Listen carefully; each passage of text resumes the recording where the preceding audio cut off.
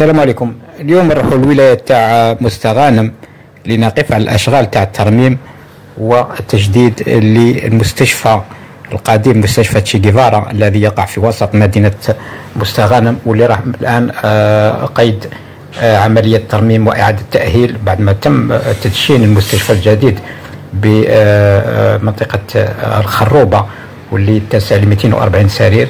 اذا في المستقبل القريب سوف يكون آه، في متناول آه، سكان تاع ولايه مستغانم زوج مستشفيات جامعية آه، من يعني حجم كبير وسوف يتم يعني تجهيزه بأحدث المعدات في المستقبل القريب.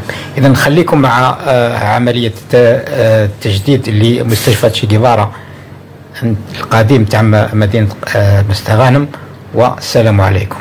وبعد دخول الفعل للوحدة الثانية لمستشفى المجاهد بن إسماعيل بومدين شرعت السلطات المحلية في عملية التهيئة الواسعة لمستشفى شيغيفارا بحيث انطلقت فعليا الأشغال والتي خصص لها مبلغ الخمسين مليار سنتيم بالتنسيق مع المجلس الطبي العلمي ومكتب الدراسات ومؤسسات الإنجاز مع احترام جودة الأشغال والأجال المتفق عليها.